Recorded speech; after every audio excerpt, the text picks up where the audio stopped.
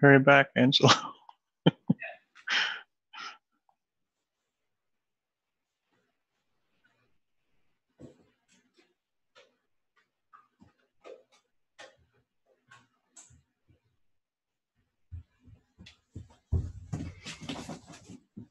Hello, everyone, and welcome to part.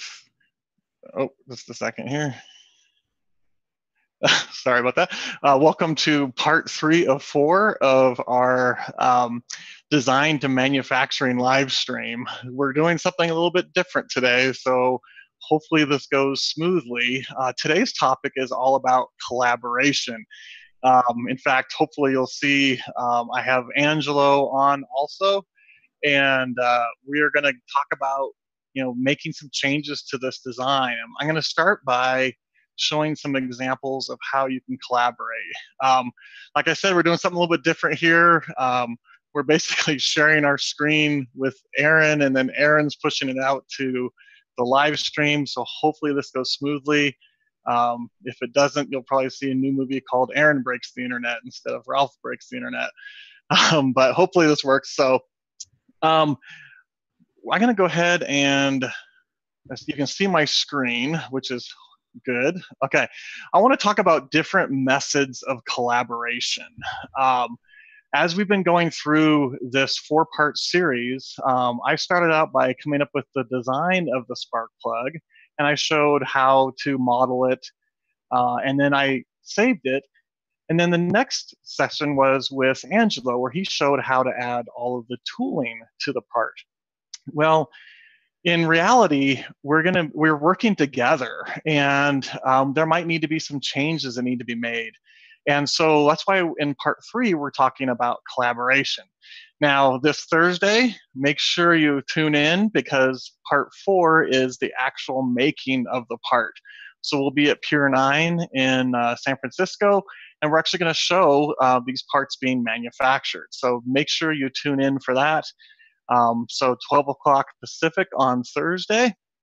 So right now you'll see that we have a project that um, is called live streams and in here is the spark plug that i created and also the drawing and we can see uh, what versions we're at on both of these parts now if i go over to the people tab we can see that I'm inside the project and so is Angelo.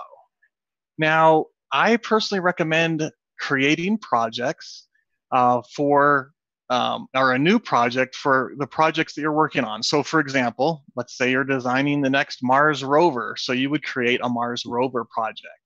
Maybe you're working on the next Hubble telescope. You would create a Hubble telescope project. And in the People's tab, you can add in people to your project. So, for example, I can invite um, Aaron into here because Aaron's going to be our, our project lead. Um, oops, let me uh, do this right. So I'm just going to type in his uh, email real quick and invite him into this project. Now, with that said, um, when you invite people into your project, they have access to everything inside of that project. So only invite people that you want in your project to have access to everything. So, for example, I probably wouldn't invite, um, you know, my uh, manufacturer that I use down the road, for example. Um, I want to invite my my team lead, my team members, um, maybe somebody from marketing. Hmm. Uh, those are the type of people you might want to have inside your project. Okay.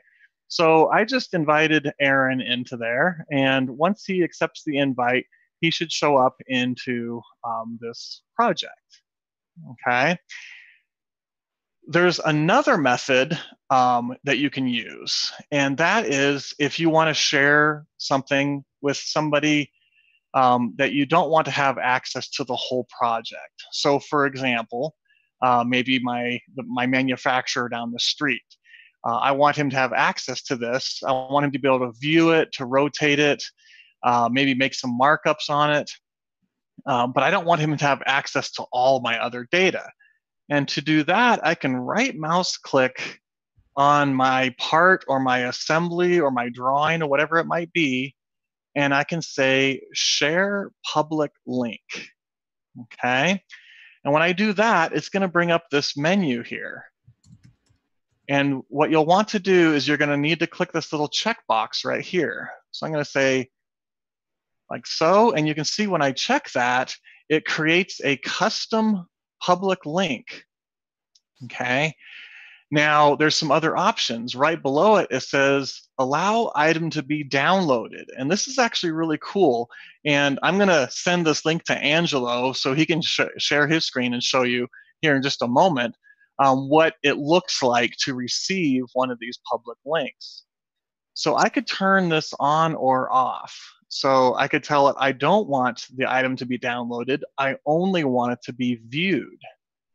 Well, in this case, um, maybe I'm going to send this to my manufacturer and I do want him to be able to download it because maybe he wants it as an IGES file or a STEP file, uh, you know, an STL, something like that.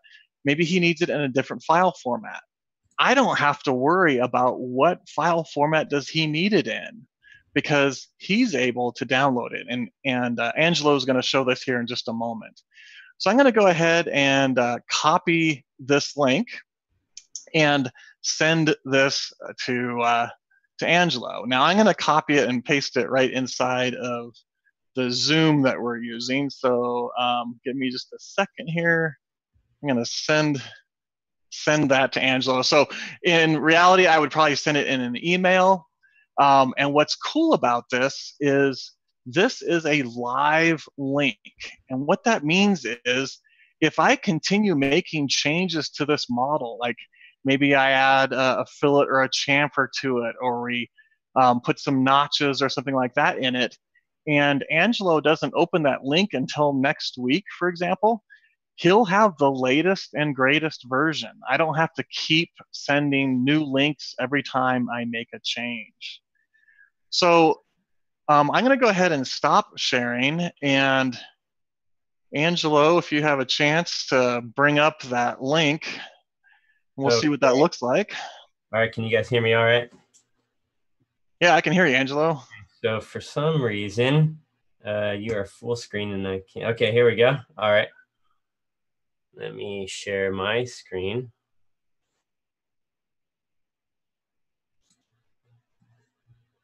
All right, so tell me what you guys can see. I can see your Fusion screen, so you'll need to bring up the web page. Yeah, so I received the link that you sent me, and I brought in, uh, I remember something. I need to make this not full screen. And then I could drag this in. So this is what it looks like. Uh, this is what you sent me. Okay. And so I can see the tool path and I don't even need Fusion. Whoops, I zoomed in too much. I don't even need Fusion installed. I can just view it here. So I can look and see everything that I've done. So it's pretty handy. Yeah, and you guys will notice at the uh, the bottom of the screen, there's a lot of icons. So, for example, Angelo can do um, markups. He can take measurements. He could explode the assembly if it was an assembly. Um, so yeah, here he's kind of just making a quick markup. Um, and so this is a great way to work with other people.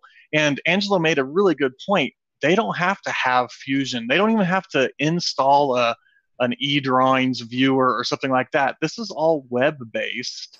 And so, you know, I could have sent this to my marketing manager and said, "Hey, here's what the new product design looks like. What do you guys think?" Right?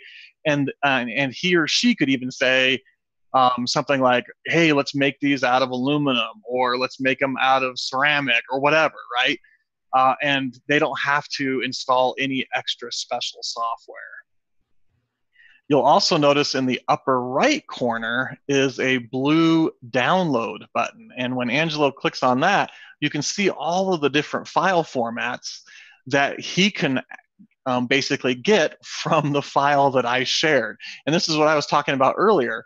you don't have to know what file format that particular person needs it in. Um, you don't know how many uh, people we've talked to where they keep an extra seat of Pro Engineer or an extra seat of SolidWorks just so they can convert a file format they, they might get from a vendor or something like that. Don't have to worry about that with Fusion. Super cool. Yeah. So if I wanted to email that, I would just click on this here and type in the email that I want to send it to the person uh, that's receiving that. So and I would just send it off. So it's quite quite handy and it's good. This is the way we share share files. It works out quite quite well. Yeah, and I should have had it queued up. Um, you can even give me a half a second here you can even view your files on your phone or tablet. So you could be like on the shop floor um, and you, you know, you don't have to bring your computer or anything like that. I can actually search for this particular file right on my phone. I can view it and rotate it just like you're seeing on Angelo's screen. So, um, you know, you don't have to have drawings or anything like that. It's pretty cool. It is quite cool. Okay, so why don't you stop sharing, Angelo? Actually, no, I lied. Why don't you? Um, uh, we talked a little bit earlier. You mentioned there was some changes that we needed to do to this, and if you want to kind of explain what that is, we can see yeah. what we can do. Yeah. All right. So let me just. I usually close this so I get more real estate. And so a couple of things. When I was doing this, I realized I didn't have the proper tool to do these uh, this groove in here. And yes, I could use a parting tool, but the parting tool that I have on hand, I know it doesn't create a very good surface finish. So we could maybe omit some features here. And for what we're making, it's just a spark plug that's going to go in your on a keychain or on a pocket in your pocket. So uh, it's going to be used as a bottle opener. So it doesn't have to be 200% accurate representation, but uh, so there's sometimes we can omit some features. So something like in here, maybe I would, uh, let me go into the design workspace. And a couple of things here. So my tool, I know that when I'm turning in this area, it can't drop down in there. And like I said, I have the tool I have in the machine, it doesn't uh, create a great surface finish. So I'm just going to omit that feature. So a couple of things I want to do is maybe I'll extend that chamfer all the way down and maybe the same thing here. And it, it'll be fine for what we're doing. We're not doing an exact representation, but just trying to work with what we have on the machine. So what I would do here is I would uh, measure the distance between here and here. I could go in here and maybe make changes to that, but I'm, I'm afraid if I edit that, then the chamfer will start here and work its way back but I want to maintain this cylinder here. So I'm just going to create a new uh, chamfer right here on this edge. And before I do that, I want to measure the distance between this edge and that edge. And if I look here, it's 80 thousandths, uh, the distance there. And then also over here, let me reset my selection. And let's measure from here to there. So that is 40 thousandths. So I'm just going to create a couple of uh, chamfers. And the cool thing with this, guys, is notice at the top, it's it's actually my part, know, and we're at version seven. And Angelo was able to, because he's part of the project, he was able to load this up and make changes to this model to make it work for manufacturing. And when he saves this, watch that version 7 go from V7 to V8 and he can add in a description and which i highly recommend. It kind of helps you keep track of all your different versions like what did you do between version 7 and version 8 so he just typed in you know added some chamfers or whatever and you're going to see that that number now goes up to version 8 and yep there's there's those comments. Um, so in fact notice on version 6 it says you know fix the lead collision etc and so as you get multiple versions you can quickly see okay, we made some changes here. What did we do and why did we do that? Oh, it's right here in the notes. Um, another thing that Angelo showed on his live stream, which I think is really cool, is if Angelo expands open the comments down in his Fusion right there, you'll actually see you can add comments into your design also. And I think this is huge. Um, a little bit of history. I came from the federal aerospace and defense arena. So I've visited a lot of these customers, um, you know, like the NASA's and the national labs and stuff, and you don't know how many post-it notes I've seen with dimensions and notes and stuff like that. And I'm like, man, we put a man on the moon and brought him back alive. how did we do that, right? So with Fusion, you can do it right inside with those comments. And so um, last time when when Angelo was doing his live stream, he actually wanted to capture some data. What was the uh, you know the internal or the external diameters and all that kind of stuff. It was a really quick or major diameter, minor diameter. It was a really easy way for him to do that. So I recommend doing the comments. And if he if you hover over that, you can see um, it says version two is when he created those notes. And it actually adds the notes to the version that you're currently working on. So you could have multiple different notes for multiple different versions. So um, a, couple little icons in there, Angelo, if you don't mind hovering over the little camera, you can kind of see in the comments. Um, it'll allow you to take like a quick screen capture. So if he clicked on that right now, um, it just took a picture of that and he can add a comment in there, um, you know, blah, blah, blah. Yeah. and that's going to get captured um, in that particular orientation. So, and you'll post that and you'll notice it'll go to version eight instead of version two. So, um, great way of capturing data. So, thanks for doing that, Angelo. You're welcome. You're welcome.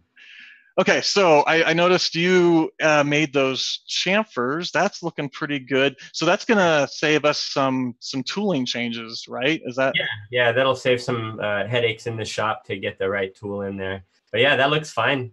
Yeah, it still gets our design intent across. So anything else um, we well, should do before we send this to the machine? Yeah, yeah. So I was thinking, since this is going to be a keychain what if we were to put a hole somewhere here, like a 1 8 diameter through hole right there? So we okay. can a hole so we can attach that to like a key ring.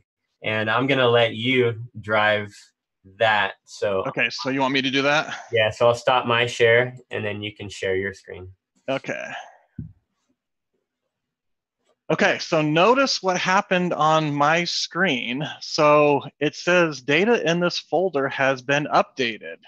So because, uh, notice I'm at version 7, Angelo made some changes and you don't see it on my design. I'm going to go ahead and say refresh and we'll see that that now says version 8. I can also come in here and um, let me just go ahead and right click on this guy here. And let me see. Oops, let me see if I can find it here. I guess I can't see it right now. Okay, I'm gonna go ahead and let me just close this guy down um, and update this one. So I'm just gonna open it up and it should have the changes to it. Sure enough, we can see there's those two new chamfers um, that Angelo created. We can see those at the end of the timeline here. And uh, Angelo said he wants to put a, a hole through here. So um, we could put like a chain or something like that through it so it's easier to find. So let's just go ahead and create a new sketch on this front view here. And I'll just throw a circle. And like I showed before, I, I kind of like to go off to the side and force it to be in line. So I'm going to say uh, 0.125. And let's go ahead and add a constraint. So I'm going to do a horizontal vertical like so. And I'll line that up with this right here. Let me kind of zoom so you can kind of see it's off center. As soon as I click that guy, we can see that that lined up vertically. So we've constrained it to be lined up vertically. Now I could come in here and uh, throw a dimension. So let's just go ahead and do a quick dimension here is 0.233, okay? So I'll just do this. I'll say another dimension, like so. And I could type in 0.233 divided by 2. And that will go ahead and center that for me um, in the correct location. So I could have used the measure command, but I find it just as quick to just do a quick dimension and uh, I canceled out of that dimension and was able to throw that one in there. So let's go ahead and machine this through. Now, I've shown this tip multiple times before, but I want to select this profile. So I'm going to go ahead and click on um, this by holding down my left mouse button, and I can say profile. So it's basically allowing me to probe through. So the very front thing is the face, well, the next thing is the profile. So now I've selected that profile. It's kind of buried inside of that part. I'll go ahead and extrude this guy. And let's just go uh, symmetric. So I'll do something like that. Say OK. And I've just created a hole through there. So I'll go ahead and save this really quick and say uh, added hole for chain or something like that. And we'll see that that's going to go from version 8 to version 9. Now, like I showed earlier, um, Angelo has a dynamic link or a live link to this. And he might um, be on his iPad or his iPhone or whatever device looking at this. And maybe he has some feedback on this little whole area you could add that feedback in either the comments or in a markup or whatever to, to speed things up. Um, we're going to kind of simulate that. But Angelo, you, you have some feedback on this hole right here. Yeah, that hole looks looks good. I like that. That's right in the center, and we'll be able to get a key ring on there. And yeah, I like that very much. It kind of adds to the functionality of that keychain so you can attach it to something. So yeah, good job. I like. That. Okay. And do we want to like add a, a, flat or anything to it, or you just want to leave it the way it is, or chamfer? What's the best? Yeah, I'm limited on tools, so putting a chamfer on there. I mean, we could pop, probably add a flat, but to save time here, um, let's just leave it how it is for now. Okay. And we'll see what it looks like at the machine when we get it on there. Okay, so I'm going to um, add a comment in here. I'm going to um, basically send a message to Aaron saying, um, how does this look? You know, final approval or something like that. Yeah. Okay. Um, I'm going to go ahead and post that. Now, um, Aaron, because he's part of the project, would get that message. Um, unfortunately, he's quite active making as a producer right now, uh, so he probably won't be able to respond. But he would get that message, and he could respond back saying, um, "Yep, looks good. Let's make ten of these. Um, make them out of aluminum or whatever." But hopefully, you're kind of seeing the whole collaborative side of things with this, where it's not just one person that can do the design. Um, you know, I kind of came up with what the overall shape should look like. But when I sent it to Angelo, he determined with the tooling that he has in his machine, we needed to make a couple changes. And he was actually able to make those changes. Or he could have just marked up and said, remove this fillet and change it to a chamfer. We give you lots of options uh, with Fusion 360. I also invited, um, you know, Aaron into the project. He can make comments. Um, you know, how much is this going to cost? Uh, how many are we going to make? Can you make it out of this particular uh, material, etc. Um, I could do a quick rendering and send it to my marketing guy and say, hey, do you want to advertise this on our Instagram or Facebook or whatever? So it's really kind of cool how instead of being just one person designing the thing, you can actually have a whole team. We're going to keep this one a little bit short. Um, we want to uh, make sure that you definitely uh, attend this Thursday's live stream. We're hoping to have a lot of fun with it. Uh, we're going to be manufacturing uh, a couple of these. And like we mentioned on one of the earlier live streams, uh, we are going to have a drawing where we are going to give uh, one of these away to one of you lucky people that attend uh, these live streams. So make sure um, you give us a thumbs up, uh, leave some comments in the, the comments field, mm-hmm. not just in the little chat on the side. Um, you know, share with us uh, what's your favorite thing with Fusion. Uh, what's your favorite thing with these live streams? What would you like to see on future live streams? Um, we definitely read these comments um, and uh, add them to our list. Uh, we, have been having a blast with this series. We hope to do more like this. And with that, we hope to see you on a future live stream. Angelo, thank you very much. I will see you here in Pier 9 in about a day. So awesome. Perfect. Yeah. Hey, thanks, Brad. Yeah, looks good. I like that. And uh, yeah, looking forward to machining this on uh, cool. Thursday. So we'll get the machine all set up and dialed in and show users how we how we do this. And uh, did you? I'm I'm thinking, should I? Where are we at on time? We're good on time, right? Yeah. Um, I could add this hole now. Oh, oh yeah. You want to add to show how you would manufacture that? Yeah. Yeah. Okay. So let me. So why don't you uh, stop your share and I'll share my screen. And let me go here.